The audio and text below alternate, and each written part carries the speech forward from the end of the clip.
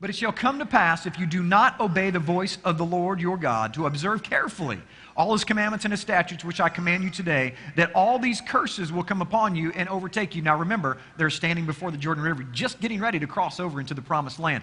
What a great pep talk.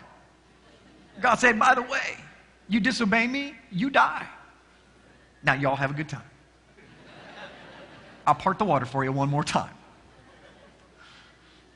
If you don't follow me, and he continues, then the Yahweh will scatter you through all the people from one end of the earth to the other, and there you shall serve other gods, which neither you nor your fathers have known, wooden and stone.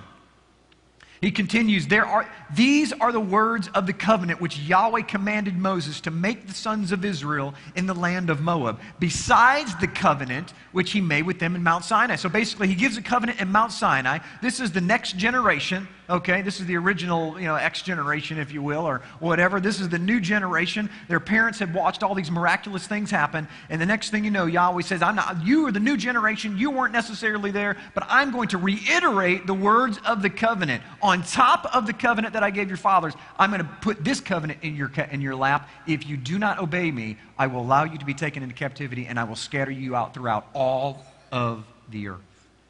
Now, you'd think that they would absolutely heed this call, but they don't. Verse 14, neither with you only do I make this covenant. This is key, listen up.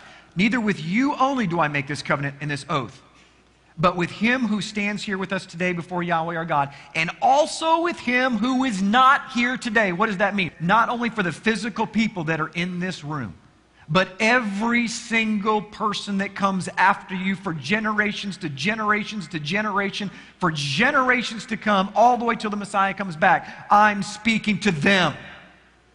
See, Yahweh doesn't just speak to one group of people because He's up there and we are a ping pong ball. So when He speaks, it revolves around the earth. He speaks to us for all generations. He's outside of time. Amen?